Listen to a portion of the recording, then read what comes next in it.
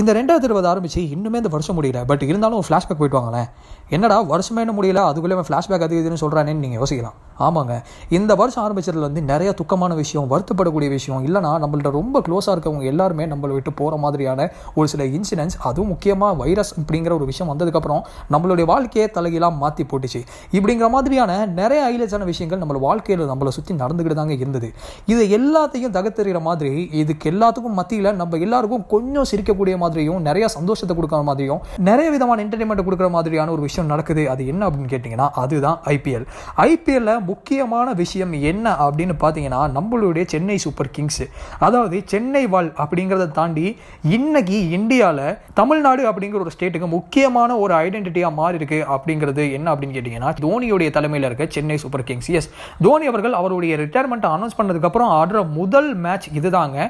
International கிரிக்கெட்லேருந்து retire ஆகிட்டார் அப்படிங்கிறது நமக்கு தெரிஞ்சாலுமே அவர் எப்படா மஞ்சள் சொக்கால நம்ம எல்லாம் பார்க்க போறோம் அப்படிங்கிறத நம்ம எதிர்பார்த்து அவளை காத்துட்டு இருக்க இந்த டைம்ல இன்னைக்கு நடக்க போற இந்த Chennai Super Kings versus Mumbai Indians அப்படிங்கிற அந்த மேட்ச் தான் களை கட்ட போகுது அப்படிங்கிறது சொன்னான். அதுல எந்த விதமான சந்தேகமும் கிடையாது.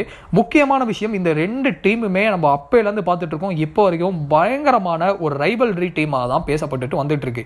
ஸோ இன்னைக்கு இந்த மேட்ச் திரும்ப நம்ம சென்னை சூப்பர் கிங்ஸ் வாங்கின அடியே மும்பைக்கு கொடுக்க போறோமா? இல்லனா இந்த வாட்டி மறுபடியும் ஃபைனலில் அவங்கள கூட்டிட்டு வந்து கப்படிச்சு ஜெயிக்க போறோமா? இப்படிங்கிற மாதிரியான பல கேள்விகள் நம்மள ஓடிக்கிட்டு தான் இருக்குது.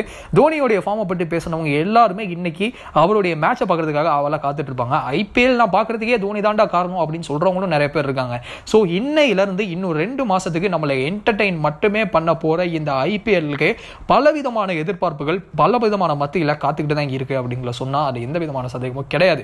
ஸோ சென்னை சூப்பர் கிங்ஸ் இன்னைக்கு மும்பை இந்தியன்ஸை ஃபர்ஸ்ட் டைம் எதிர்கொள்ள போகுது. அதுவும் இந்த வருஷத்தில் க்ரௌடே இல்லாத ஒரு ஐபிஎல் நம்ம முத வாட்டி பார்க்க போகிறோம் அப்படிங்கிறத நம்ம சொல்லும் போதே யோசிச்சு பார்த்தா நமக்கு தோணுதுங்க. ஐபிஎல் க்ரௌட் இல்லாமல் எப்படி சேர் லீடர்ஸ் இருக்க மாட்டாங்க? சாங் போகாது பாட்டுக்கு டான்ஸ் ஆட மாட்டாங்க.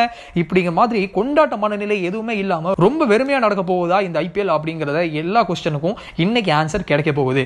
என்னதான் கிரவுண்டில் ஆள் இல்லைனாலும் கோடான கோடி மக்கள் வெளியே இருந்து சப்போர்ட் பண்ணுறதுக்கு ரெடியாக இருப்பாங்க. ஸோ இன்னைக்கு ஐபிஎல் நடக்க போகுது. இந்த ஐபிஎல்ல யார் ஜெயிப்பா அப்படின்னு நீங்க நினைக்கிறத கீழே கமெண்ட்ஸில் சொல்லுங்க. சென்னை சூப்பர் கிங்ஸ் ஃபேனா நீங்க. அப்படின்னா உடனடியாக இன்னைக்கு எந்த விஷயம் ஹைலைட்டாக இந்த மேட்ச்சில் இருக்க போகுது அப்படிங்கிறதையும் கீழே கமெண்ட்ஸ் கமெண்ட்ஸில் சொல்லுங்க.